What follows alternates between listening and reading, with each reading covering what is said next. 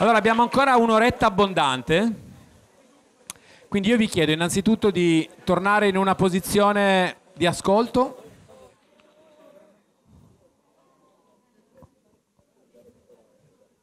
Nel frattempo qualcuno vada a chiamare Enrico, che non so dove sia finito.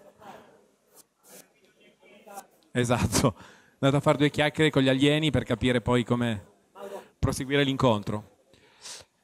Allora, ricominciamo con una domanda che è la stessa domanda per tutti voi.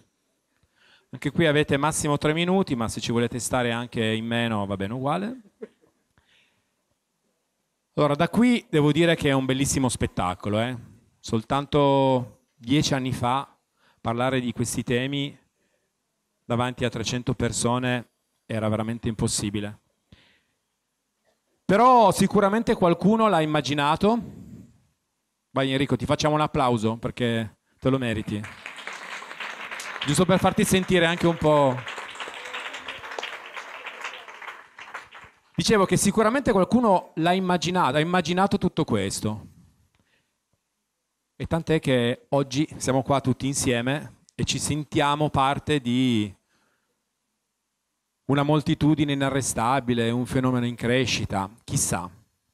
Allora la domanda che vi faccio, che quindi va più su quello che è il vostro sentire personale, è questa. Io direi che possiamo cominciare da Mirella ci passiamo il, il microfono. Semplicemente a quale conclusione sei arrivato, sei arrivata, dopo i tuoi anni di lavoro in questo ambito? Il risveglio delle coscienze sta avvenendo, realmente possibile?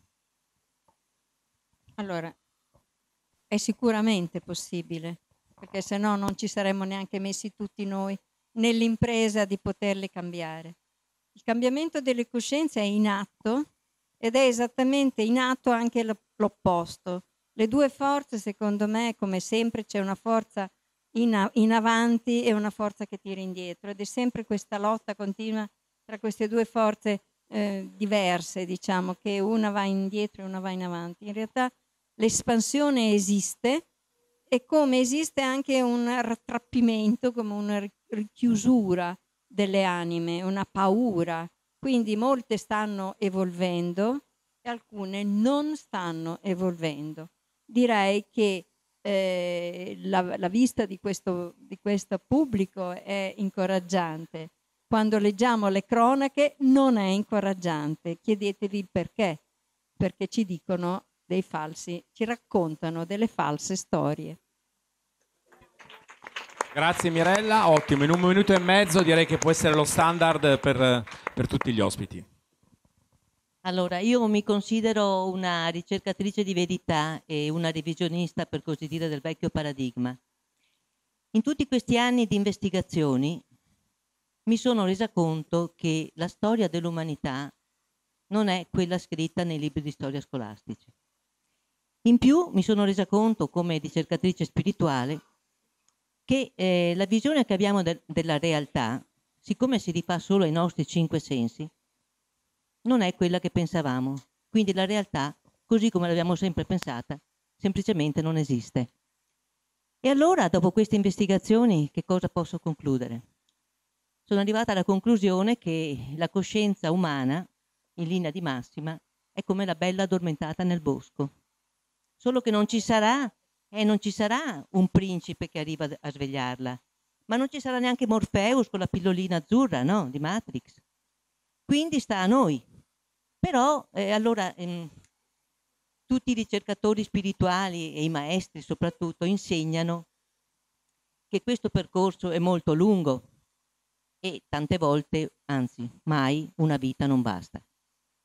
Ma allora eh, il cosmo interviene in nostro aiuto e ci invia continuamente, di continuo, tutti i giorni, dei messaggi, che noi però di solito non, non, non ce ne accorgiamo perché li scambiamo per il caso. E quindi, per esempio, cose che avvengono per caso, le sincronicità che invece dovremmo, eh, alle quali dovremmo porre molta attenzione, sono ad esempio venire attratti dal titolo di un film, no? per caso che poi ci piace, ci comunica qualche cosa. Oppure passare davanti a una libreria, vedere nella vetrina un libro che ci attrae nella sua copertina o per il titolo e poi quando lo compriamo ci accorgiamo che c'era un perché se ci attraeva. Magari eh, conoscere una persona per caso e poi parlando insieme con quella persona ci accorgiamo che ci ha arricchito, ci ha comunicato, ci ha trasferito qualche cosa. Andare a una conferenza, beh, il fatto di essere qui oggi non è un caso, eh?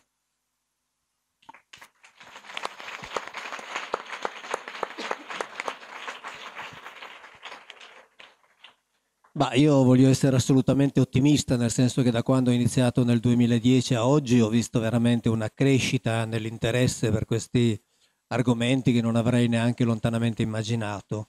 E cioè lo vedo al di là delle appunto, partecipazioni alle conferenze, insomma dalla quantità di gente che mi scrive, che è una cosa veramente impressionante eh, dall'interesse che c'è all'Italia, nell'Italia e all'estero, perché sta cioè più che iniziando ormai lì è avviato in un certo modo. E devo dire che eh, è, un cammino che secondo me è inarrestabile, nel senso che il lavoro che ho fatto con Enrico, quindi mettendo assieme lui gli ingegneri indiani, io degli ingegneri che lavorano per il più importante centro aerospaziale italiano che lavora per la NASA, e, ed è un processo anche quello lì che non, si, che non si arresta. Il lavoro che ho fatto con Pietro Buffa, eh, che sta coagulando attorno a lui dei ricercatori che hanno, dopo l'uscita del libro hanno preso contatto con lui e mi ha fatto leggere le mail che ha ricevuto per dirgli vogliamo metterci a disposizione per andare avanti in, questa, in questo cammino di ricerca appunto sulla insomma, possibile vera origine dell'uomo.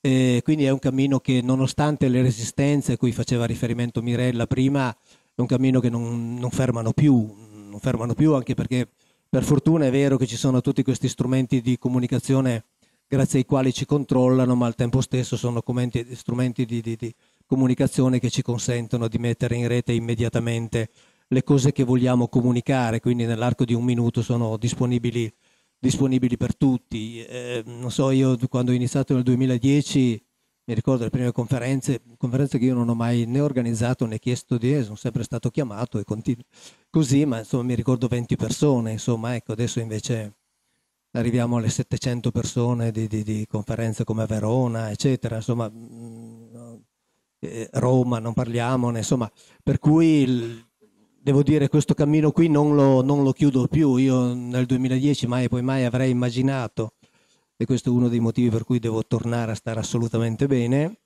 che, che mi...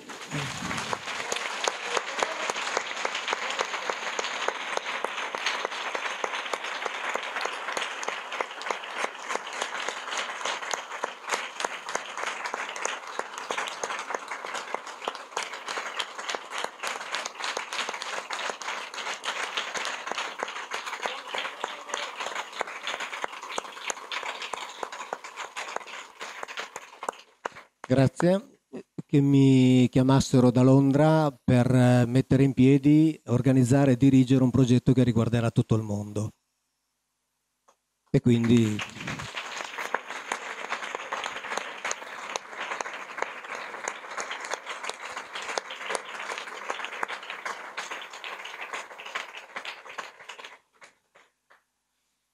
Quello che posso dire io è che eh, sono ormai 15 anni che mi dedico con passione a questo filone di ricerca e sono arrivato a una conclusione, che il vero problema non è l'esistenza o l'inesistenza di Dio, ma il problema sono le religioni istituite, il cristianesimo, il cattolicesimo e adesso, lo dico senza alcun timore, l'Islam. Eh, chi ha creato grattacapi all'umanità non, non, è questo ipotetico Dio, ma sono queste religioni e chi eh, al loro interno si spaccia come rappresentante di Dio in terra. Combatto il cristianesimo nel mio piccolo, combatto l'Islam, scriverò presto, mm, verrà fuori presto anche un libro sull'Islam, perché lo ritengo il pericolo montante. Capisco che no, non è politicamente corretto oggi come oggi fare un'affermazione del genere, ma mi sento di farla. E nel caso del cattolicesimo, ecco, è il nostro problema attuale, il problema più grosso, credo che tutti noi siamo chiamati a, a dare il nostro piccolo contributo. Io dico, non facciamo gli anticlericali da salotto, impegniamoci in prima persona, non lasciamoci dire eh, che, co- eh, che, che, problema ti dà il cattolicesimo. No, il cattolicesimo ci porta via soldi quando parliamo di, di ICI, il cattolicesimo impone l'ora di religione, ci impone la sua presenza negli ospedali, eh, nelle caserme bisogna fare assolutamente qualcosa contro tutto questo. E poi c'è il problema della, degli abusi, della pedofilia clericale. Scusate se forse vado fuori un po' tema, ma è un argomento al quale sono particolarmente sensibile e anche qui cercheremo di mettere in cantiere qualche cosa. Chiudendo e tornando alla domanda, il risveglio delle coscienze, certo che è iniziato, è, in, è iniziato ed è, secondo me, è inarrestabile e in questo devo dire che uno editori di cui mi onoro di fare parte sta facendo, sta recitando un ruolo di primissimo piano.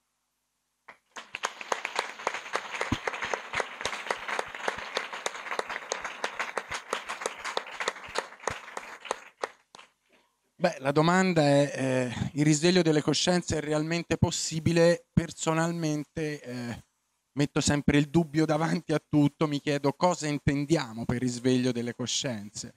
Sicuramente in atto, sicuramente, eh, come diceva Mauro, come dicevano chi mi ha preceduto, negli ultimi anni sicuramente c'è stato un cambiamento che direi è stato ed è epocale perché eh, veramente si sono smosse come mai prima le acque su eh, determinate tematiche, determinati argomenti e sempre più persone stanno aprendo gli occhi. Eh, poi è un processo che per me personalmente, dal mio punto di vista, sarà molto lungo perché comunque sia eh, i poteri forti, le realtà forti che possono essere il Vaticano, le istituzioni, i gruppi di potere e quant'altro sicuramente aumenteranno sempre di più la loro egemonia, se mi passate il termine.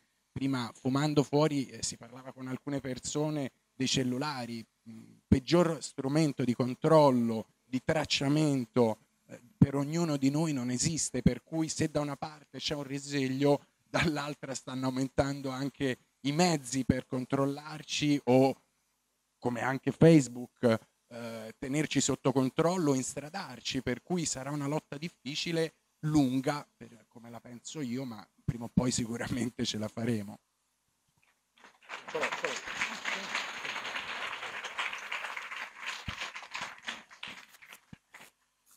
Eh, io penso che la risposta sia, sia, questa, più che questa, perché si può stare su un palco a, a dire tutto ciò che si vuole, eh, il problema è poi sempre avere dall'altra parte degli interlocutori curiosi che magari poi un giorno eh, saranno qui, anche loro, a proporre le proprie, le proprie idee e con, condividendole con gli altri.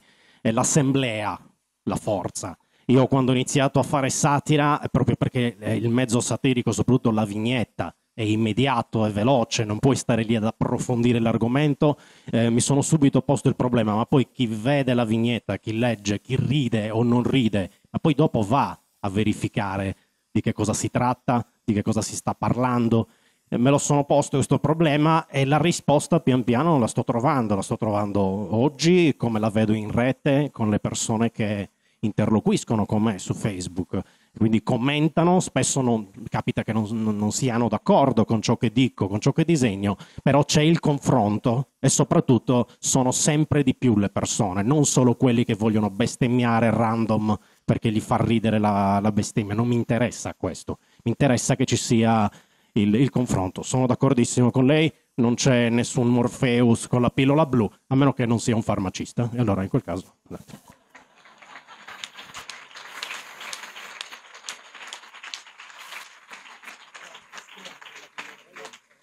Allora, che 350 persone decidano di passare sabato pomeriggio a sentire noi è sicuramente un fatto rilevante, che in passato, come dicevano altri relatori, non era così. E eh, è un qualche cosa che è un onore e un onere per noi, perché abbiamo piacere di avere sempre maggiore successo per le ricerche che facciamo ed è un invito a cercare sempre di fare ricerche serie con metodo entro certi limiti, io mi occupo in ambito lessicale epigrafico, cercando sempre di usare un metodo galileiano di prove, di controprove, se non si è sicuri, ragionare per assurdo, eliminare le possibilità negative di una determinata teoria. E poi il fatto stesso che ci sia da parte delle persone un così grande interesse è un processo lento perché non basta soltanto venire alle conferenze, questo lo sosteneva anche Mauro qualche anno fa e questo fenomeno si sta verificando, perché deve scattare anche nelle singole persone la voglia di controllare, di prendersi i testi citati in bibliografia. Quando noi scriviamo le bibliografie sembra che siamo molto precisi, ma a volte la prefazione non viene letta, la eh, bibliografia neanche, si legge la conclusione, anzi ho sentito che alcuni lettori vanno a leggersi la quarta di copertina e guardano la conclusione e in base a questo comprano il libro o meno il fatto comunque di voler iniziare a guardare e vedere, dice, guarda, il tale autore citato in quel punto lì dice questo, ma io questo libro ce l'ho? No, me lo posso comprare, voglio vedere. Già questo è un passo avanti ed è un processo lento, costante e continuo di cui cominciamo tutti ad avvertire la presenza ed è molto bello perché venire alle conferenze è un primo passo ma deve scattare qualcosa in ognuno di voi a confrontare e dire nel mio piccolo l'autore X ha detto questo e se fosse qualcos'altro vediamo se ha detto anche il vero o quantomeno se lo stesso autore ha detto o ha confermato determinate cose. Per questo ci vuole del tempo, ma il tempo è sovrano, in questo caso si sta iniziando a verificare. Quindi 350 persone iniziano anche loro a guardare e ad approfondire gli stessi testi. E questo, ripeto, è un onere e un onore per noi.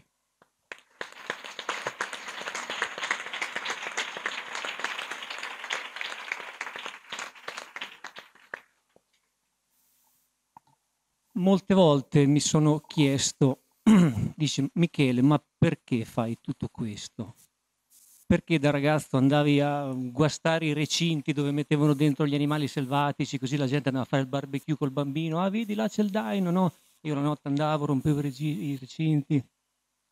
Perché ti schieri contro il mondo della caccia? Perché, perché, perché? Perché ho fatto questa vita, no? L'ho fatto per me. Devo essere sincero. Ad un certo punto il percorso di un alchimista ti porta a essere spietato. Dici, lo fai per il bene dell'umanità non te ne frega niente dell'umanità. A me personalmente dell'umanità, se voglio fare un bel lavoro, non me ne deve fregare niente, perché là fuori c'è un mondo che è totalmente diverso da noi. È vero, stiamo crescendo, siamo sempre di più, siamo sempre di più, una cosa così era impensabile, ma là ci sono persone che non ne vogliono proprio sentir parlare delle nostre cose. E anzi, se andiamo là fuori e non qui dentro a questo recinto protetto a dire chi siamo, rischiamo tanto, rischiamo grosso. Allora come posso fare quadrare quest'opera? Ebbene, mm, io penso che il risveglio c'è in questi termini, che ci sono persone che vogliono fare un certo percorso, che hanno gli strumenti anche grazie al lavoro che facciamo, anche grazie al fatto che questo pianeta è diventato qualcosa che prima non era. Ecco, quella quantità di persone lì sta iniziando un percorso, un processo. Ce n'è un'altra che non verrà minimamente sfiorata da quella parte lì.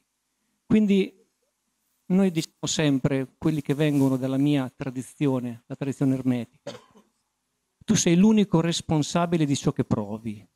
Non andare a cercare, non andare a cercare che è colpa di quello là, non, non, non metterti a fare il salvatore. Poi si fa anche certe finacce a fare il salvatore. Cioè non, la, c'è una parte di mondo che non vuole essere salvata. Tu curati del tuo, curati del tuo. La più grossa prigione che ho incontrato e che per me rappresenta il vero recinto della mia schiavitù è la mia macchina psicobiologica, questo è il mio cosmo, i pitagorici sono chiari in questo, tanti cosmi. L'essere umano è un cosmo dentro un cosmo più grosso che il pianeta Terra. Se faccio un buon lavoro sulla mia macchina, penso di aver fatto tutto quello che posso fare e penso di aver prestato il maggior servizio possibile a tutti gli altri. Wow. Grazie, grazie. Direi che quest- su questa onda energetica possiamo riprendere Possiamo riprendere in mano il nostro discorso. Allora, Chiara, ci vuoi dire due cose sul contest, su come è andata? Abbiamo raccolto le domande dal pubblico, ne abbiamo una a testa per voi. Attraverso questo contest ci... Molto brevemente abbiamo fatto questo contest che è stato gradito a quanto pare e dove ognuno, anche i non presenti, avevano la possibilità di fare una domanda, di mandarcela via mail e abbiamo scelto otto domande, ognuna per, per il relatore e quindi queste domande sono fatte da voi, arrivate via mail da voi. Grazie mille. Quindi noi abbiamo deciso di tenerle così, giusto qualche aggiustamento della grammatica, ma fondamentalmente il senso è rimasto proprio tale e quale. Alcune sono anche un po' lunghe perché giustamente sono il frutto di un pensiero. Allora, eh, cominciamo con Don, Alemanno. Sarei io.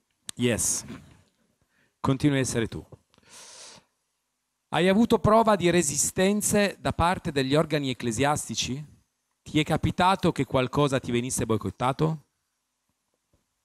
Allora, eh, boicottato no, però c'è un aneddoto relativo a, a un evento che feci per Mondadori a Milano. Eh, pubblicai questo- questa graphic novel, diciamo una storia autoconclusiva sempre del mondo Genus eh, per Mondadori e, e quindi organizzarono questo evento in corso Vittorio Emanuele a Milano eh, aprendo la, la vetrina della Mondadori, diciamo, organizzando una specie di...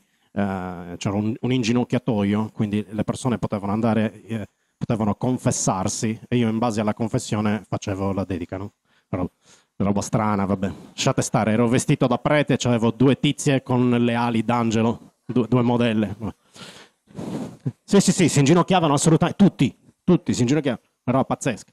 Che succede? Che eh, questa- que- que- questo evento ovviamente è stato pubblicizzato online e all'interno di un forum di sedicenti cattolici, perché secondo me uno se è veramente cattolico non dice quelle stronzate che ho letto in quel forum, scusate, ma cosa fanno questi? Si organizzano per venire all'evento e boicottarlo, secondo loro. Il problema qual era? Che c'era in contemporanea il Gay Pride. Quindi dove vai? Vai da Don Alemanno o vai al Gay Pride? Hanno diviso le truppe, quindi il 50% è venuto da me e il restante al Gay Pride. Al Gay Pride pr- probabilmente non sono stati particolarmente notati, li avranno an- coinvolti in, eh, in cosa? Sicuramente, que- questo lo dici tu, non- ma eh, sono venuti da me questa- questo contingente e si sono piazzati dall'altra parte, quindi eh, sotto i portici, però dall'altra parte della Mondadori, dall'altra parte della strada, e hanno fatto una cosa eh, fantastica. Tant'è che mia madre, che dalla Sardegna è venuta a Milano per vedere l'evento, mi ha detto: Vabbè, ma l'hai organizzata tu questa cosa, cioè è una roba tua. Ho detto: No, ti giuro, ma no, è vera, è una cosa vera. Hanno, fatto, hanno recitato il rosario. Cioè l'evento è durato tre ore e questi hanno fatto tre ore di rosario con tanto di crocifisso, così, dall'altra parte, che, che mia madre ha detto mi avvicino a spiegargli che sei, che sei bravo. Io ho detto no, ma, ma stai qua, falli fare, è marketing, lascia fare, no? E tant'è che poi Studio Aperto aveva fatto questo servizio su questa cosa qua e, e- e tuttora i miei genitori dubitano della di- che, che fosse no, realmente una cosa organizzata da loro, della veridicità di questa cosa, pensano che, che fosse in realtà una mia mossa di marketing, però a parte queste stupidaggini per il resto non hanno mai fatto nulla di particolare. Ecco, boicottaggi veri no. So di avere molti seguaci tra i seminaristi. Sì, perché, eh, sì, perché eh, a Roma sono arrivati dei ragazzi, tra cui uno, anche un bel ragazzo, uno alto, che io così gli ho fatto la domanda, gli ho detto, senti, ma tu, dimmi la verità, ma quanto... E lui, eh, non posso, Gli ho detto, perché sono in seminario, sei in seminario. E perché sei qui da me? Ah, perché ti seguiamo. Eh, eh, qu- Quanti siete? Tant'è che ho detto fammi vedere una prova, fammi vedere qualcosa. Aveva lui l'ingresso al seminario in Vaticano, aveva il tesserino per entrare, era vero. E pare che siano una decina lì che, che- che comprano le mie cose, se le nascondono come, come fa- facevate voi con i, con i giornaletti porno. Loro fanno con i miei, però pazzesca. Vedi? Pazzesco. Donna Alemanno, che notizia! Se avrai la diffusione del, che ha avuto il porno all'interno dei seminari, qui la rivoluzione è veramente... Eh, Genus is the new porno. Abbiamo Siamo- tutto in mano. Ragazzi, prima o poi. Grazie Don. Allora, qui eh, c'è una domanda molto lunga per Mauro. Spero di leggerla bene perché è un po' arzigogolata, ma so che sei abituato a tutto. Allora, perché Yahweh ha bisogno del fumo del grasso per, per calmarsi? Una soluzione rozzissima, quando già noi attualmente sappiamo fare di molto meglio. Mettendomi nei panni di questi Elohim da te descritti, le soluzioni da loro adottate per risolvere alcuni problemi sembrano molto rozze e non prodotte da un popolo molto avanzato. Possibile che non potessero creare automi per lavorare? Possibile che educassero alla guerra e fossero così sadici nei confronti delle loro creature? Una mia considerazione. Penso che una civiltà così crudele si sarebbe autodistrutta molto tempo prima di arrivare ad avere la capacità tecnica di fare quello che ha fatto. Sì, in realtà non è una domanda, è qualcosa di decisamente più articolato. Eh, allora, intanto a questa domanda dovrebbero rispondere gli autori biblici, nel senso che io, come sapete, racconto ciò che c'è scritto nella Bibbia. Quindi se ci sono delle cose che non convincono, uno dovrebbe dire ma perché le avete scritte e pur- purtroppo non ci sono più, e allora tocca a me cercare di spiegarlo. Eh, quindi non voglio fare l'avvocato difensore ovviamente degli autori biblici, ma eh, dico semplicemente questo, che quando noi parliamo di Bibbia, prima Enrico ci diceva quanto fosse vasta la letteratura indiana, quando noi parliamo di Bibbia parliamo di un manualetto, io qualche volta l'ho definito il manuale delle giovani marmotte, cioè di un libro che un piccolo popolo ha scritto per mantenere la memoria di se stesso e per affermare se stesso nella storia. Quindi, quando noi parliamo della Bibbia, non parliamo della civiltà degli Elohim, ma parliamo di quello degli Elohim che si è occupato di quel popolo lì, comunque fosse costituito quel popolo. Quindi non possiamo e non dobbiamo commettere l'errore di fare una generalizzazione, cioè dire era, quella era quindi una civiltà crudele, una civiltà che si sarebbe annientata, una civiltà che non sapeva fare certe cose. No, la Bibbia ci parla di quello lì, che non era neppure uno dei più importanti. Quando noi poi leggiamo, come eh, ci suggerisce Enrico, i racconti di altri popoli della terra, ci accorgiamo che per fortuna quella civiltà era molto più ricca, complessa, articolata di quella che ci viene rappresentata dalla Bibbia. La Bibbia è una finestrina su un piccolo, su un piccolo insignificante, diciamo così, poi forse insignificante non è perché però questi sarebbero altri discorsi per quello che magari c'è lì sotto, in quel territorio, e quindi forse insignificante non è, ma comunque riguarda quella finestra del pianeta Terra. Quindi dire che quella civiltà si sarebbe annientata vuol dire dimenticare che i greci, gli egizi, gli stessi indiani ci parlavano di quelli di loro che amavano la musica, la cultura, la letteratura, la bellezza, l'arte. C'erano tutti, erano tutti rappresentati. Noi abbiamo il racconto di un militare, di un feroce militare che secondo me andrebbe messo sotto processo esattamente con le stesse categorie giuridiche con le quali sono stati processati i gerarchi nazisti. Le stesse categorie giuridiche. Quindi quello che è stato fatto diventare Dio, secondo me, dovrebbe finire in un processo come quello di Norimberga. Non ho dubbi su questo. Non ho nessun dubbio. Con le stesse, ripeto, con le stesse categorie giuridiche applicate ai gerarchi nazisti a Norimberga, compreso quello del principio della retroattività dell'applicazione della legge che è stato inventato proprio appositamente per Norimberga, perché altrimenti non avrebbero potuto condannarlo. Ecco, andrebbe applicato a lui. Quindi noi non dobbiamo generalizzare. Quindi poi se lui utilizzava i suoi per i suoi fini personali e quindi siccome si faceva procurare il cibo e nel procurarsi il cibo c'era anche questa produzione di fumi, beh, ben venga, lo, lo fanno molti governanti, nel senso che fanno lavorare il loro popolo, lo mettono alla prova. Una cosa che per esempio adesso stanno cercando di cancellare dal Padre Nostro, tanto per cambiare di nuovo. Avete sentito, no? Ecco, cioè adesso cambieranno una frase del Padre Nostro perché finora ci hanno sempre detto non indurci in tentazione e adesso non, lasci- non abbandonarci alla tentazione. È un'altra falsità palese perché lì c'è di nuovo il legame logico con tutto il comportamento di Yahweh prima, che quindi spiega come mai lui si facesse preparare il cibo dai suoi, come mai appunto lui nel farsi preparare il cibo facesse in modo anche di avere questo fumo, che era uno degli effetti comunque necessari, come dire, necessariamente prodotti dalla produzione del cibo, e in realtà li metteva costantemente alla prova. E questo dice quella frase del Padre nostro che stanno cercando di cambiare per nascondere di nuovo un altro aspetto. E poi perché utilizzavano quelli? E finisco subito. Perché utilizzare degli schiavi umani invece di robot costa, costava infinitamente meno. Costano niente, soprattutto se gli produci un cibo che li consuma e quando li rompono, quando si rompono, li butti via. Un robot chiede comunque manutenzione. Quindi adesso noi stiamo mettendo i robot nelle fabbriche perché i lavoratori non sono più schiavi e avanzano dei diritti. Allora non esisteva questo discorso qui. Quindi qualunque schiavo costava infinitamente meno di qualunque macchina avessero potuto costruire. Quindi era il comportamento più intelligente. Grazie, grazie Mauro, sempre puntuale.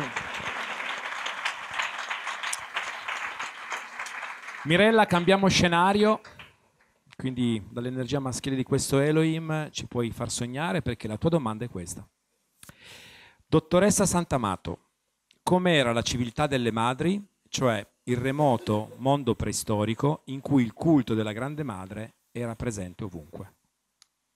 Bene, su questo gli storici occidentali, che sono poi gli unici che in realtà hanno parlato e scritto di questo periodo, l'hanno rifiutato cioè è un lunghissimo periodo in cui l'umanità ha vissuto in pace senza guerre e non era propedeutico a un sistema che invece voleva imporre la guerra e il conflitto come perenne eh, condotta umana, in quanto con il conflitto si crea dominio. Quindi cosa hanno fatto? Hanno semplicemente detto e affermato su libri grandi, molto importanti, che tutti questi millenni di storia umana senza conflitti non esistevano. E eh, ci sono state delle battaglie nel secolo scorso molto importanti fatte da archeologi e archeologhe, da scrittori e da mm, te- teorici e anche da storici molto accreditati che invece hanno studiato queste antiche civiltà. Quale era la cosa che eh, queste antiche civiltà, a cui veniva rimproverato, diciamo, eh, a queste antiche civiltà? Di non avere una scrittura. Ora, in realtà le scritture le avevano, è semplicemente che noi non siamo in grado ancora di decifrarle. Sono degli, de, degli specie di segni che sembrano quasi dei pettini e che effettivamente vengono riportati in tantissime statue, in tantissimi templi, vengono riportati a Malta, a Creta, in tutti questi antichi posti dove eh, c'era questa mh, mm, credenza molto pacifica nella Dea Madre e che in realtà è semplicemente una nostra ignoranza non averli decodificati, non che perché siccome non li abbiamo decodificati quindi non erano scrittura.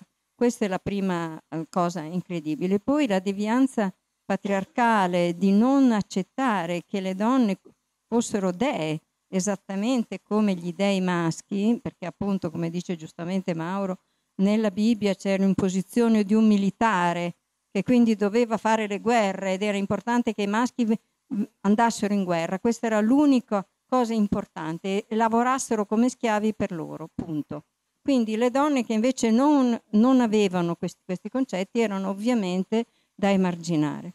Questi antichi periodi in realtà non solo sono esistiti, ma sono esistiti per 10-15 mila anni. Abbiamo dei reperti archeologici enormi. Andate a Malta nei famosi templi della Dea che dall'alto, pensate bene, quindi evidentemente un po' come le linee di Nazca, hanno la figura proprio femminile, si vede la, la testa, i due seni e le due cosce eh, grandissime, tutto molto tondo, il nuraghe in Sardegna, il mio amico eh, Santa Cristina, per esempio, eh, eccetera, sono tutti templi megalitici antichissimi dedicati in modo veramente quasi imbarazzante quanto sono semplicemente la rappresentazione di una vagina con in fondo un pozzo sacro, una sorgente d'acqua, perché l'acqua era cara alla dea e che quindi questo era considerato sacro perché? Perché senza acqua non c'è vita, era molto semplice la cosa, per cui l'acqua era, senza una madre non ci sarebbe vita, per cui è chiaro che tutto questo era semplicemente sacro. Cosa hanno fatto le culture successive patriarcali? Hanno demonizzato esattamente questo, cioè l'unione tra uomo e donna. Solo lì dove si nasceva la vita, lì doveva colpire il patriarca. E il patriarca creato il famoso peccato originale semplicemente perché il sesso, l'eros, deve essere ucciso. Ma questo è, eh, questo conflitto diciamo, tra energie eh, è durato migliaia di anni. A tal punto questa distorsione della visione patriarcale è così feroce, è stata così devastante, che non solo non sono stati scritti tutti questi libri, se non ultimamente, grazie al risveglio delle persone, ma anche degli stessi simulacri della Dea, famosissimi, tra cui ricordo la statua che avrete visto tutti di Astarte che ha cento seni, no? e poi ha dei bambini sulle braccia, ha la torre sulla testa e tutti gli animali, eh, diciamo tutte le gambe sono formate da animali. Bene, questo è evidente che è la madre, la mater matura, mm, della, della natura, no? Bene, ovviamente in una visione patriarcale quei seni erano testicoli. Basta, non dico altro. Finale perfetto, non se ne può più. Allora, Daniela, la domanda per te è a proposito della razza di giganti che ha popolato la Terra in età remotissime e che per i miti, le leggende e anche molti ritrovamenti archeologici ha costruito i megaliti e molti altri edifici di culto. Secondo te questa razza di giganti semileggendari è realmente esistita? Cosa ci puoi dire a riguardo? Ma, eh, dei giganti sono esistiti indubbiamente anche perché sono stati trovati in vari luoghi della terra degli, delle ossa, dei teschi, e che poi sono stati ricostruiti e sono stati trovati dei, degli scheletri giganti, per esempio a Malta, per esempio in Perù, in Ecuador, beh, in, e- in Sardegna. In Ecuador addirittura c'è una località di cui non ricordo il nome, ma ricordo comunque il significato della sua traduzione. Significa cimitero degli dei lì c'è stato un, un prete mh, cristiano che è morto una ventina di anni fa, che aveva creato proprio una collezione, perché lui aveva trovato tutte queste ossa, tutti questi teschi, li aveva ricostruiti, e quindi aveva questa collezione di scheletri simili a noi, ma molto più grandi, della misura di 7 metri. Poi con la sua morte sono stati in parte messi in alcuni musei del mondo, altri in collezioni private, di qualcuno poi si è perso la traccia e sono spariti e non si sa che fine abbiano fatto. Però comunque eh, sono la prova, è chiaro che anche in questo caso la scienza, la religione e tutti gli altri, la storiografia, eccetera, non sanno come gestire questa anomalia e quindi gli affibbi al nome di misteri. Ma non sono misteri, sono prove. Sono prove che c'erano, che sono esistiti, chissà quando. Ma del resto anche la Bibbia ne parla la Bibbia, no, Mauro mi conferma, parla degli Anakim, dei Nephilim, e li descrive proprio per la loro statura. Addirittura gli Anakim, visti dall'uomo, esatto, sì, ma esatto, i ciclopi. Ma per esempio quando Mosè mandò no, i suoi soldati per, in perlustrazione, e questi tornarono eh, impauriti perché avevano visto gli Anakim che li descrissero, eh, cioè loro si vedevano rispetto agli Anakim piccoli come locuste e quindi erano piccolissimi anche i Nefilim sono della stessa stirpe, no? Quindi comunque eh, anche la, mhmm, cioè, ci sono stati e naturalmente mh, mhmm, sono la prova che ci sono state. D'altra parte c'è anche da dire una cosa, che certe costruzioni megalitiche eh, straordinarie possano essere state costruite da esseri molto grandi, se ci pensiamo bene, è anche un po' logico, no? come ad esempio nel caso di Balbec, noi non sappiamo esattamente la misura de- di quelli che li hanno costruiti, però certamente è molto probabile anche che fossero di una statura ben diversa dalla nostra. No?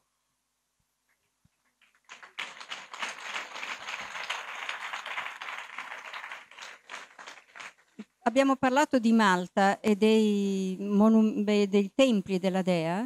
Bene, la tradizione maltese dice che era una gigantessa e difatti si chiama gigantia, loro lo chiamano gigantia, che questa gigantessa con un bambino sulle spalle era talmente forte questa dea, questa donna, che poteva trasportare le pietre con l'altra mano. Da una parte aveva il bambino e dall'altra la mano che ricostruiva questi, questi templi. Quindi questa è la tradizione, è proprio una Occhio, gigantessa. occhio ragazze perché Secondo qua la vedo solo- dura. eh. Secondo solo, eh, proprio parlando di Malta, c'è un sito al Sapeni dove sono stati trovati questi teschi enormi, eh, con una capacità cerebrale il doppio della nostra, ma anche proprio grandi, che avevano la caratteristica, non, avevano, non hanno la, la, la sutura mediana e quindi di conseguenza facevano proprio parte di una razza diversa e teschi di quella misura prevedevano anche ovviamente degli scheletri proporzionati a quella misura. Poi a un certo punto, mi sembra nell'84, sono spariti, prima erano al Museo di Malta, alla Valletta, poi sono spariti e naturalmente saranno stati messi in qualche scatolone nei magazzini. Fatto Grazie. sta che sono spariti. Grazie mille. Questo femminile che non ci sta. E andiamo avanti così. Allora, abbiamo una domanda. Tu, Massimo, ci porti in Egitto. Una domanda per te. Microfono. Ce n'è soltanto più uno? Ah, va bene, sì, sì, sì. Allora, Massimo, perché le tre piramidi d'Egitto, Cefra, Cheope e Micerino, situate nella piana di Giza, sono state allineati- allineate alla costellazione di Orione? Bene, questo fa parte della teoria di Boval, che è molto originale, ha grossi margini di veridicità. Eh, c'è qualche punto su cui alcuni eh, diciamo, critici hanno trovato delle falle, però globalmente direi che sostanzialmente è possibile che sia del tutto vera o almeno buona parte. Parliamo di Orione. Orione era una stella, era una costellazione fatta di sette stelle molto importante. Tuttora noi la possiamo vedere nel cielo meridionale, se guardiamo verso sud dalle vostre case, se non c'è troppo inquinamento luminoso, possiamo vedere le sue sette stelle fatte a forma di clessidra.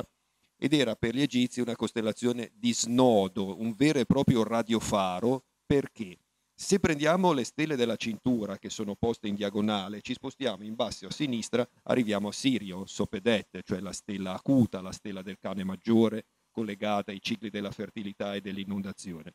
Se ci spostiamo verso in alto a destra, otteniamo che raggiungiamo la stella Aldebaran, la stella Sar, altra stella molto importante che corrisponde all'occhio del toro. Per gli egizi era chiamata Sah, il dio camminatore, in tempi tardi dal nuovo regno, il periodo tolemaico, identificato anche con Orione. E era una stella, era una costellazione molto importante per gli egizi perché compare già nei testi delle piramidi che fanno parte della letteratura più antica che ci è giunta, secondo alcuni si parla di periodo oscillante tra il 4000 e il 4200 a.C. Quindi era conosciuta già in tempi antichissimi. E per la sua posizione vicino alla Via Lattea, vicino a queste stelle, era abbinata alla, a delle costellazioni cosiddette meridionali che non erano visibili nell'orizzonte perché? Perché come gli ebrei, gli egizi cominciavano l'anno dall'equinozio di autunno, abbinato per gli egizi alla piena del Nilo e per gli ebrei con il Rosh Hashanah, cioè la capo dall'anno, testa dell'anno, iniziava in quel periodo e Orione, come tutte le costellazioni eh, invernali, era non visibile. Questo ha creato l'associazione con il Duat, con il mondo infero, con il mondo dei morti, il mondo degli spiriti, in cui peraltro qualche volta lo stesso faraone veniva ospitato ed andava a vedere, come capitava peraltro con il Gan Eden, dove nove persone sono riuscite ad andare da vive e sono tornate, anche il faraone da vivo è tornato. Quindi ci sono poi dei testi delle piramidi che ci eh, riferiscono che Orione era situato molto vicino al luogo da cui venivano gli dei, perché c'è una formula che dice tu, eh, ipotetico visitatore, vai nella Via Lattea quando questa è allagata, lo, loro lo chiamavano la Water Winding Way, cioè la ventosa via d'acqua, cioè quando questa è visibile, e quando sei nei pressi dell'orizzonte orientale troverai la patria dei Neteru, cioè la patria dei loro dei, l'isola del fuoco, dell'isola delle fiamme, non troppo distante dalla costellazione di Orione. Quindi è evidente che per gli antichi egizi la costellazione di Orione era proprio, come peraltro anche adesso, è uno snodo astronomico di estrema importanza e vediamo che anche in altre popolazioni c'era un interesse particolare, qui anche Enrico con gli studi della mappa di Davenport lo conferma, c'era una attrazione verso questa costellazione perché da qui si poteva andare a avere una specie di mappa del cielo, di planimetria. Quindi la teoria di Boval giunge a diciamo, incrementare un certo tipo di interesse e di nozioni, anche se, ripeto, alcune piccole cose non collimano proprio.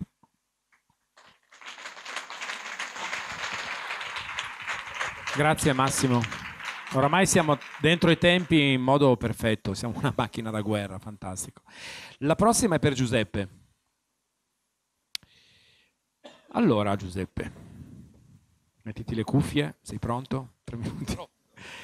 Allora, il titolo Re dei Giudei, affibbiato a Joshua, detto poi Cristo, che comparirà nel titulus della croce, in realtà potrebbe avere un altro significato ed un'altra origine piuttosto che quella attribuitagli dai cristiani.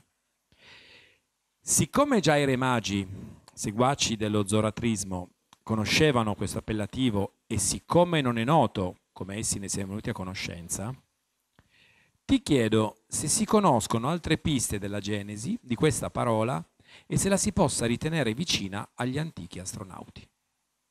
Allora, anche questa è lunga, cercherò di stare nei tre minuti.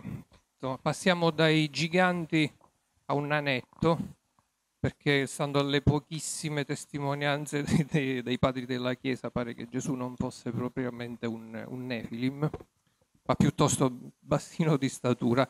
Allora vado al sodo e sì, senz'altro l'espressione re dei giudei non ha il significato che gli viene attribuito comunemente dai, dai cristiani. Il, il, titulus crucis in particolare che eh, ho visto, non so se siete mai capitati a, chiesa, nella chiesa di Santa Croce in Gerusalemme a Roma, il titulus crucis è la famosa insegna con la scritta INRI, Jesus Nazarenus Ex Judeorum. Ecco, guarda caso l'esame del radiocarbonio l'ha datata al XIII secolo. Ma al di là di questo, eh, a mio avviso si è verificato quello che nel, nel mio libro La creazione di Gesù e del Nuovo Testamento definisco scivolamento semantico. Il significato originario di Messia, di, quindi di, re, di Messia, appunto è quello di re, è quello di, eh, um, o meglio, aspirante re, eh, eh, capo politico liberatore che doveva appunto liberare Israele dal, dal gioco romano. È stato poi il cristianesimo a far scivolare questo significato un, verso una dimensione più spirituale, re in quanto salvatore, in quanto redentore portando questo regno da un ambito puramente terreno a un livello, a un livello celeste. Ma il titulus crucis, secondo me, insieme a tanti, a tanti altri indizi di cui, guardate, se leggete i Vangeli veramente ne sono disseminati, eh, punta chiaramente verso un'altra direzione, che è quella che su quella croce finì un uomo non voglio dire Gesù perché vai a vedere la genesi di questa figura, quali strade tortuose ha seguito, ma su quella croce finì, un, eh, finì qualcuno che si era messo a capo di un movimento, del movimento zelota, il cui, il cui scopo era chiaramente politico e tutt'altro che spirituale. E, ehm, è un'ipotesi che troverete eh, chiaramente, troverete puntualmente snobbata nei libri degli accademici, ma che se andate a ben vedere, e non lo dico io, lo dicono tanti, probabilmente è l'unica percorribile per spiegare chi fosse realmente questo Gesù storico, quale o quali figure si nascondessero dietro di lui.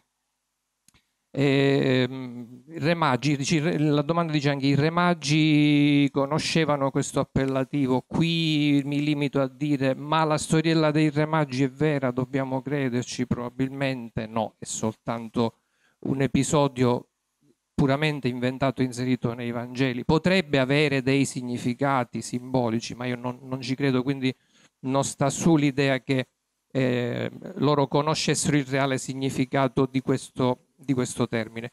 Lo possiamo legare all'ipotesi paleoastronautica? Questa è l'ultima parte della domanda. Credo di no. Eh, ritengo che la storia raccontata dai Vangeli sia tutta un'altra vicenda, difficilmente collegabile a, quella, a quello che si dice nell'Antico Testamento, anche perché la Chiesa ha voluto creare un nesso tra Antico e Nuovo Testamento che secondo me per tante ragioni non si regge in piedi. Quindi terrei ben distinto il discorso ipotesi paleoastronautica dalla vicenda re dei giudei.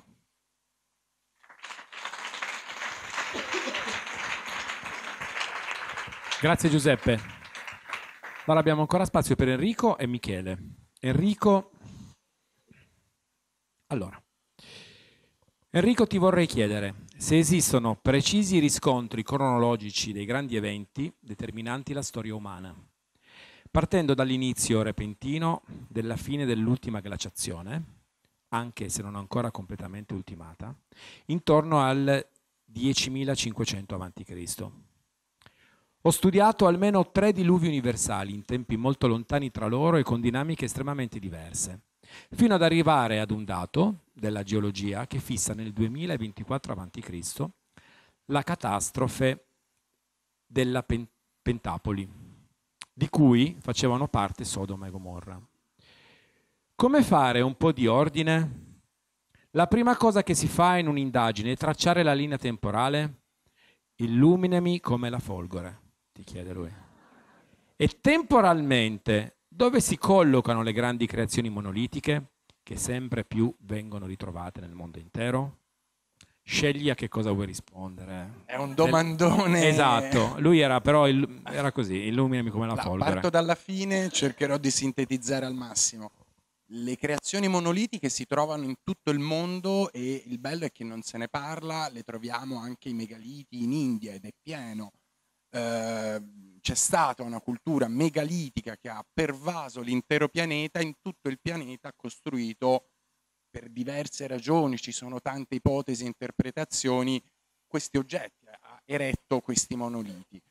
Per quanto riguarda uh, l'ultima glaciazione, sì, uh, ufficialmente la paleoclimatologia, lo studio del passato, del clima del passato, ci dice che uh, finisce con l'epoca Vurmiana nel 10.500 a.C., questo sia gli egiziani sia tantissimi altri popoli lo hanno codificato nei loro testi e la cosa curiosa e assurda è che abbiamo anche prove archeologiche di eh, una almeno civiltà precedente. Eh, mi riferisco a Göbekli Tepe perché penso la conosciate tutti, in, nell'odierna Turchia, che è un sito che oggi è stato ancora retrodatato al 14.000 a.C è, crea- è una collina di templi che sono stati ricoperti non si sa perché.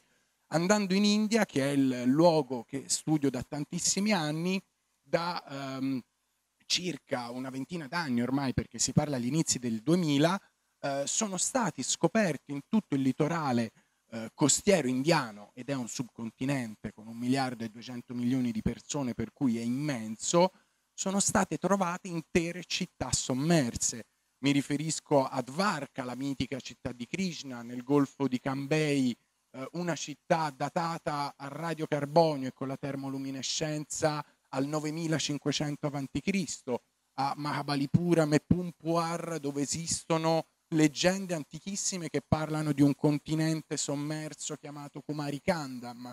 Eh, la, eh, quello che è il mito, la tradizione del popolo indiano sembra avere trovato e stare trovando sempre più conferme in quello che è l'archeologia eh, moderna e scoperte quasi casuali in certi casi. Veniva citata la data del 2000 a.C. Eh, ed è interessante perché sembra proprio, con Mauro ne abbiamo parlato tantissime volte, uno spartiacque tra il prima e il dopo. Eh, la civiltà della Valle dell'Indo, la civiltà Rappa, quella di Mohenjo-Daro, finisce più o meno tra il 1900 e il 2000 a.C. Uh, 1200 città e Mohenjo-Daro ospitava almeno 100.000 abitanti, un numero enorme in quell'epoca, uh, lasciano praticamente tutti questi insediamenti urbani e non si sa dove vanno a finire. Um, in Mesopotamia abbiamo le tradizioni uh, di guerre tra dei dove si parla di, dell'utilizzo di armi. Mohenjo-Daro, non l'ho detto poco fa, è una delle tante città della Valle dell'Indo, viene spopolata ma nella zona sud per chi ha seguito un po' le ricerche che faccio da un po' di anni, eh, è successo qualcosa ricollegabile al, al, Ramayana e troviamo i segni che abbiamo anche analizzato di, un, di eventi, di guerre che hanno portato alla distruzione della città. E poi troviamo un sito che eh, è stato identificato ormai da una decina d'anni a questa parte come la Sodoma biblica, tale la Mamma, a nord del Mar Morto, dove guarda caso troviamo gli stessi residui, uso questo termine, che troviamo a Mohenjo-Daro e che sono stati identificati anche in Mesopotamia, cioè rocce fuse da un evento esplosivo. A Mohenjo-Daro ho portato con me, non potendo, ma diversi campioni e almeno quattro laboratori, tra cui tramite History Channel, uno negli Stati Uniti, hanno dato gli stessi risultati, pietre, eh, oggetti, scusate, di uso comune, eh, ceramiche, porcellane, eh, oggetti di argilla che sono stati sottoposti per 4-5 secondi a una temperatura vicina ai 2000 gradi. Non c'è una spiegazione, non sono scarti di fusione, ovviamente devo sintetizzare, sono il frutto di un evento anomalo esplosivo. Tale la mamma, eh, la presunta Sodoma biblica, nella zona sud della città anche qui gli stessi oggetti, ma analizzati dall'archeologia ufficiale, questi oggetti hanno dato dei valori ancora più alti, temperature vicine ai 6.000, 6.000 gradi, quasi come eh, la corona esterna del nostro Sole. In Iraq, in Mesopotamia, non è tanto facile andarci oggi e quindi fare degli studi sul posto, però abbiamo in tutti e tre i casi, Pakistan, ehm, Israele o comunque nord del Mar Morto e Mesopotamia, lo stesso periodo, 2000 a.C., la fine di tre civiltà e soprattutto tre tradizioni differenti che ci parlano di guerre tra dei che coinvolsero anche gli uomini e che in certi casi, come nel caso indiano, portarono al ritorno da dove erano venuti, se non si sono nascosti eh, e sono rimasti qua, comunque degli dei dal luogo di, di provenienza. Per cui tre miti, tre tradizioni, ma con prove archeologiche concrete che eh, sono inoppugnabili e non possono essere in nessun modo smentite. Bene, mi sembra che il tenore degli applausi sia decisamente, degli applausi decisamente alto, quindi seguiamo questo flusso. Chiudiamo con Michele, questo primo giro. Allora Michele, anche per te, io ti leggo la, la domanda e poi tu vai secondo ispirazione. Non pensi che oramai, dopo tanti secoli, dire la verità alle persone e quindi sulla vera storia del mondo e del nostro ruolo evidente di pecore potrebbe portare ad una lotta civile globale? La pia frode forse viene ormai necessariamente mantenuta per evitare una tragedia umana? Personalmente non credo, però volevo sapere se potevi considerarla una possibilità. Un caro saluto. Grazie. È probabile. Non prendo alcuna verità. Probabile, probabilissimo questo come probabilissimo anche il contrario sinceramente mi interrogo su quello che può essere il valore della vita quando ci si pone di fronte a eventi che possono essere di natura catastrofica. Quanto io sia attaccato a questa vita e che valore io dia a questa vita. Se mi dicono, guarda, state buoni, come diceva Costanzo, perché evitiamo il, il marasma totale, mi viene anche da dire, ma più marasma di questo, che cosa deve succedere? Cioè, il pollo nell'allevamento sostanzialmente sta bene, protetto, c'ha da mangiare tutti i giorni, c'ha l'acqua, no? Poi fa una finaccia, però la sua vita la fa bella. Se tu gli vai a dire al pollo, guarda pollo, c'è un buco nella rete, esci, liberati, là fuori la tua vita ha una, ha una vibrazione diversa. E il pollo ti dice, guarda, ma fuori c'è la volpe, Da fuori io non ho più neanche gli strumenti per andare a mangiare, da fuori non mi posso difendere, da fuori c'è l'inverno. Quindi, sinceramente, io dico la mia, eh, proprio, proprio a lingua libera, che si protragga una sorta di pax romana eterna, sinceramente non mi stimola tanto. Ben venga il casino. Se deve servire a qualcosa, ben venga il casino. Anche perché, e questo la natura ce lo insegna, ce lo insegna nei piccoli cicli, giorno e notte, ce lo insegna nei grandi cicli stagionali e nelle grandi ere, tutto nasce dal caos. E soprattutto non c'è atto costruttivo più potente dell'atto distruttivo. Lo sanno anche in economia, se vuoi far ripartire l'economia serve una guerra, se vuoi far rinsaldare una coppia serve un bel litigio, se vuoi far vedere qualcuno che c'è qualcosa che non va, devi fargli toccare col cuore vera, il vero significato della paura, cioè la perdita. Non mi spaventa niente tutto ciò, ben venga, tanto ne abbiamo viste tante. Perdere questa parvenza di libertà forse potrebbe essere una grossa liberazione.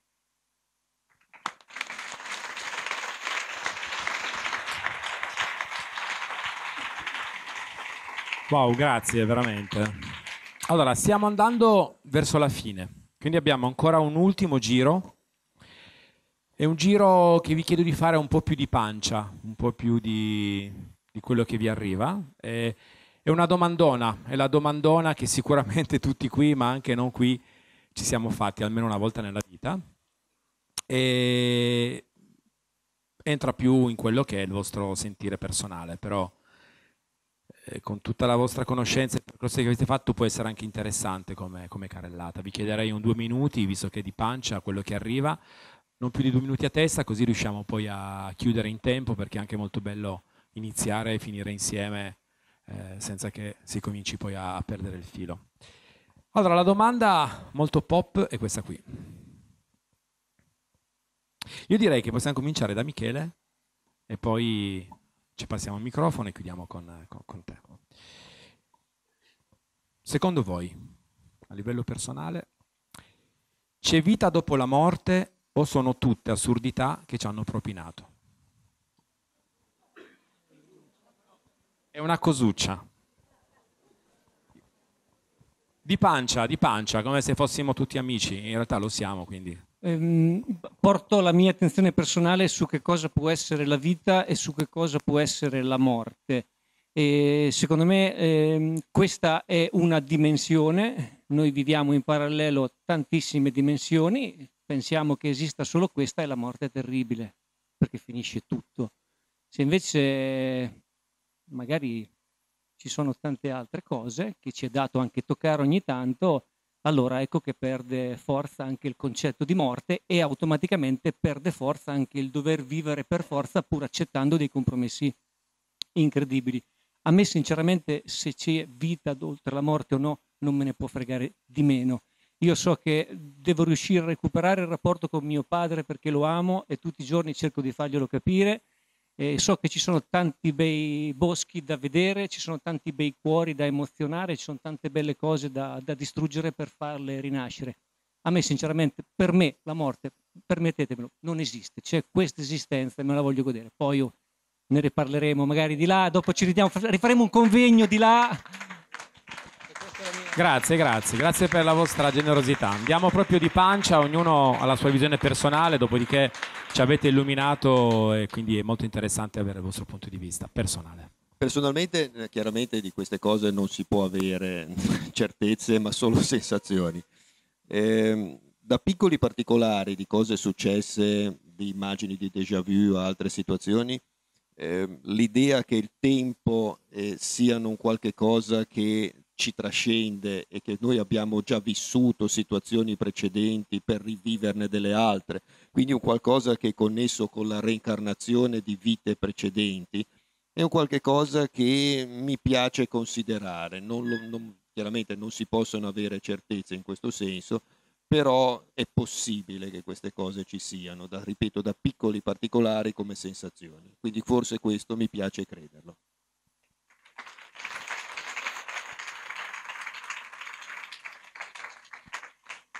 Ma così a naso penso di sì. Mm, in realtà non ci penso mai, mi ci stai obbligando tu adesso, maledetto. Eh, però credo semplicemente che eh, la forma che o- oggi è una forma ottima in confronto ad altri periodi ehm, sia semplicemente il risultato di una particolare vibrazione del- degli atomi che mi compongono e, e di conseguenza non faccio fatica a pensare che dopo la mia morte comunque quella materia a un certo livello energetico vibrerà in una maniera diversa e si manifesterà comunque nella natura. Che forma prenda non lo posso sapere, non ci penso, non mi interessa, esattamente come diceva lui, però non mi turba l'idea, non mi turba l'idea che faccia parte poi in futuro di altri eh, corpi. Spero che non, non, ci facciano cose schifose con quei corpi. Sono... Però per, per, il resto, ecco, non lo, non lo escludo, no, non mi turba l'idea. Quindi vivo sereno da questo punto di vista.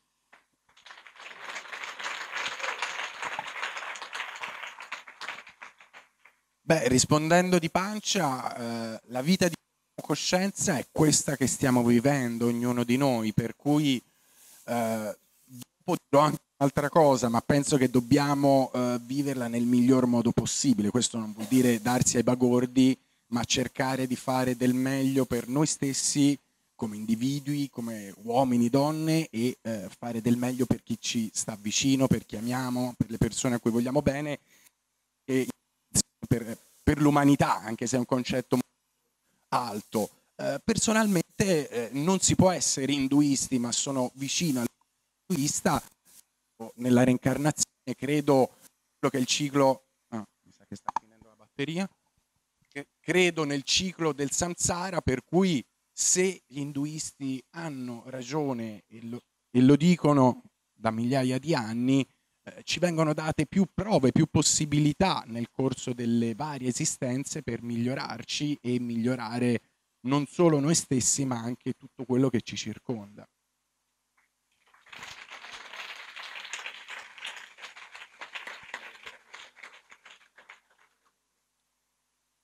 Diciamo che forse condizionato un po' dal, da 50 anni di propaganda cattolica che ci dice di umiliarci e soffrire in questa vita perché tanto avremo la ricompensa dopo, non mi convince granché il discorso che ci possa essere qualcosa dopo la morte, quindi preferisco godermela eh, adesso.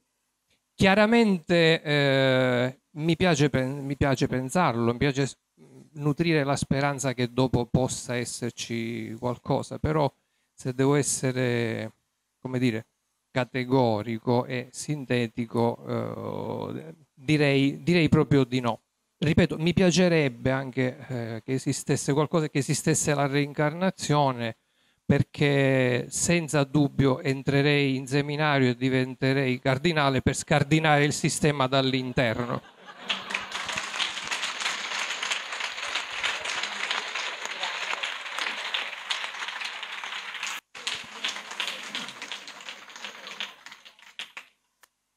Ma molto semplicemente di pancia, io non lo so cosa ci sia dopo la morte, non me ne occupo, perché già ho talmente poco tempo per tentare di dare risposte a domande per le quali almeno potenzialmente c'è risposta, che non dedico neanche un minuto a questo tema per il quale comunque so che morirei senza aver dato una risposta convincente.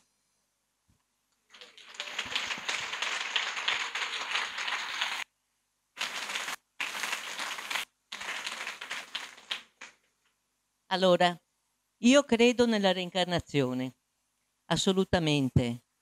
E, e, di conseguenza, più che credere in qualcos'altro dopo la morte, ritengo che la morte non esista. Quella come abbiamo finora, quella che abbiamo inteso nel, finora, che ci hanno fatto credere. La verità è che siamo stati imbrogliati dal mio punto di vista, se ho ragione io, perché ci hanno fatto credere che è una linea retta, nascita e morte invece c'è un ciclo, appunto samsara, in cui si ritorna a nascere.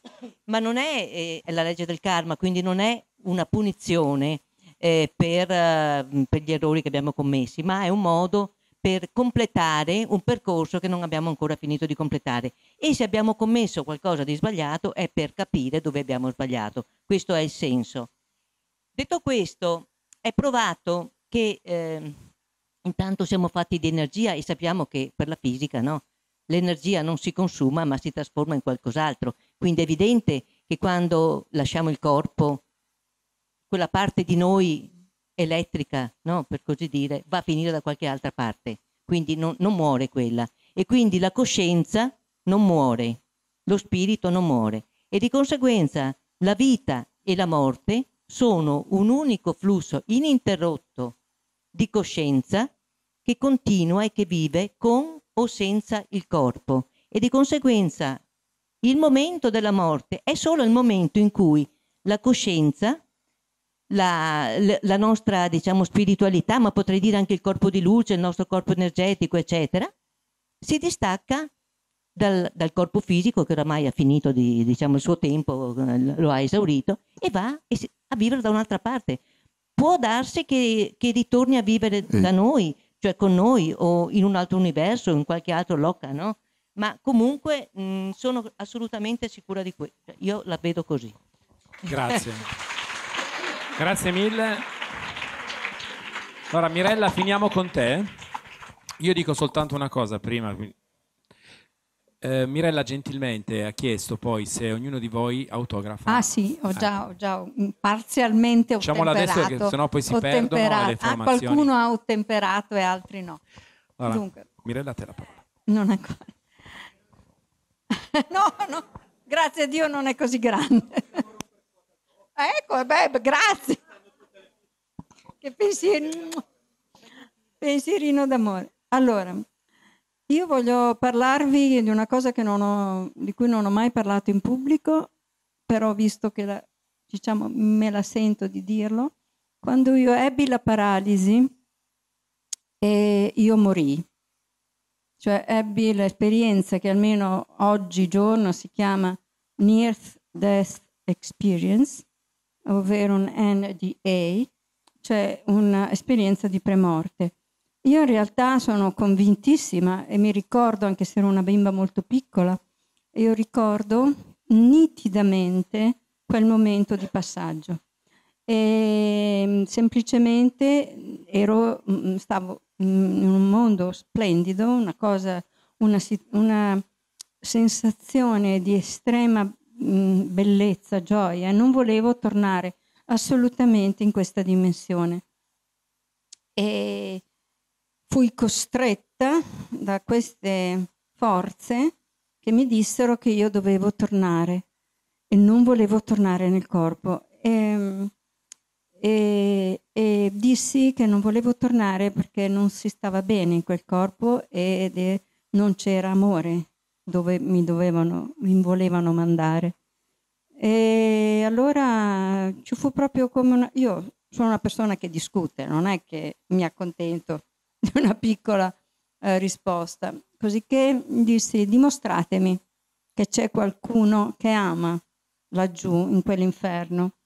E loro mi risposero tua madre ti ama. E a questo punto io fui risucchiata dentro questo corpo che era tutto un dolore, con tutti i muscoli infiammati e tutta um, febbre altissima, 41, 42, coma, eccetera. Io urlai, questi sono i racconti di mia madre, io non ho ricordo del, io mi ricordo perfettamente l'uscita e il eh, rientro nel corpo, ma poi tutto quello che seguì dopo eh, l'ho quasi cancellato. Mia madre mi ha raccontato che io per una settimana intera, pensate sette giorni interi, notte e giorno, ho solo urlato. Senza, c'era, non c'era morfina, non c'era possibilità di nessun farmaco che potesse calmarmi. Mi avevano dovuto legare al letto, tanti gli spasmi erano potenti, tanto sembrava una posseduta, eh, un, ci voleva un esorcismo, insomma. Così che dopo tutto questo travaglio ho dovuto accettare di essere purtroppo viva in questo corpo ed è stato un lungo processo di, eh, di conoscenza del male e poi del bene. Per cui io sono molto contenta oggi, però eh, non l'ho mai detto a nessuno in pubblico, mai detto, però eh, io credo che non esista una differenza, sono solo veramente dei livelli diversi, eh, noi vibriamo a, di- a livelli diversi e quindi la morte è una bellissima cosa.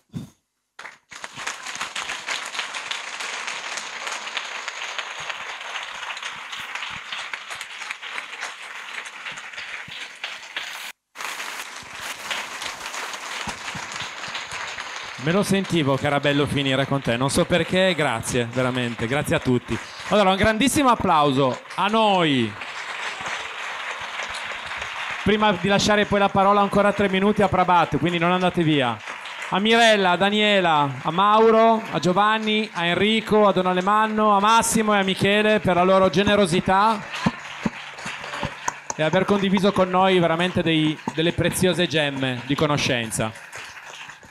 Allora, Prabat, a te la parola per la chiusura finale. Prabat, un editori.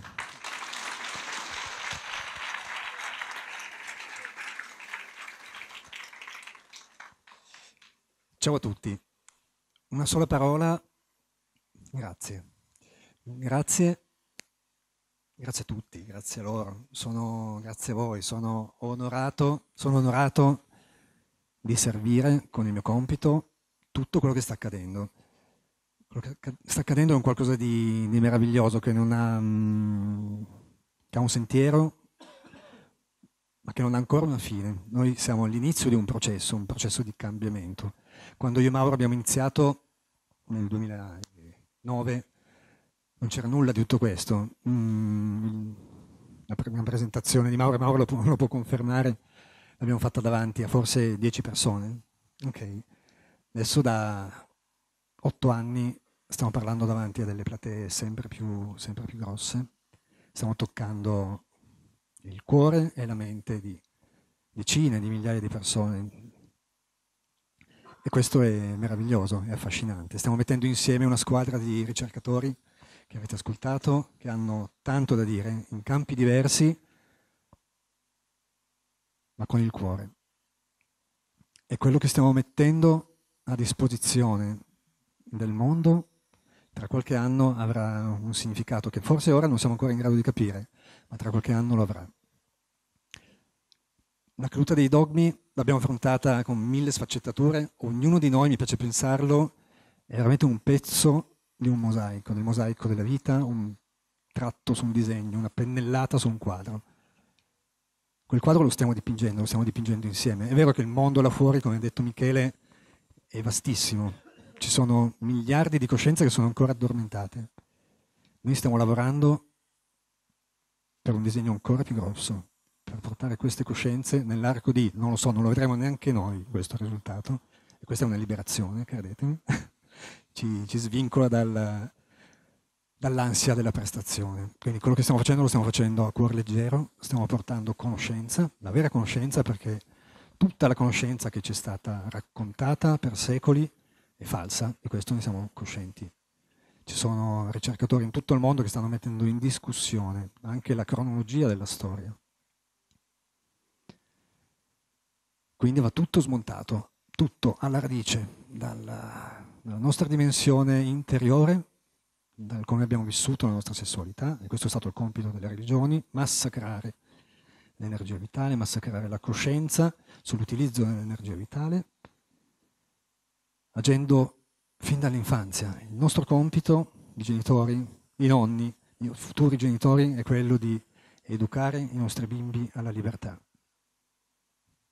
Quindi mi viene da dire dal cuore, io non l'ho fatto, non battezzate i vostri figli, è una cosa assolutamente inutile e assurda in questo periodo storico, perché la caduta dei dogmi includerà anche la caduta del, di quello che chiamo il dogma di tutti i dogmi, la datazione del tempo, avanti Cristo e dopo Cristo. Basta, questa cosa crollerà. Noi ci ritroviamo il 31 gennaio a festeggiare una cosa assurda. Ok. Grazie. Perché il nostro compito, il nostro compito è quello di educare i bimbi e noi stessi alla libertà. E ricordiamoci che la libertà non esiste se non c'è responsabilità. La responsabilità è la conseguenza della conoscenza di noi stessi, della conoscenza dei nostri pensieri, di come i nostri pensieri diventano azioni nel mondo per portare un potere che non è manipolazione, ma è un potere che parte di qua in coerenza con la mente. Grazie. Arrivederci a tutti.